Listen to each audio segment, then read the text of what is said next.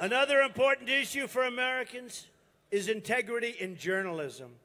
These people are among the most dishonest people I've ever met, spoken to, done business with. These are the most dishonest people.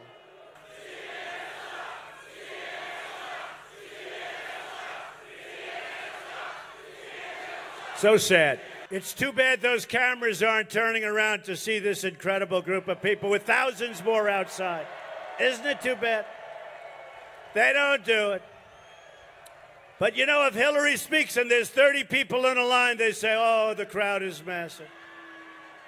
She's never had a crowd like this in her life. President Obama shouldn't be campaigning for any longer. It's really a conflict, right?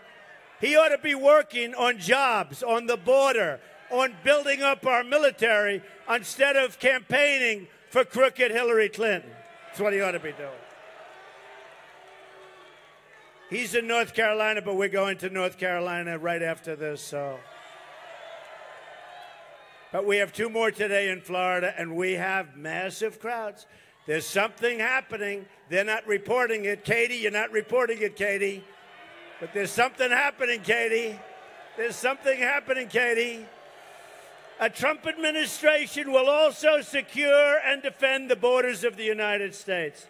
And yes, we will build the wall.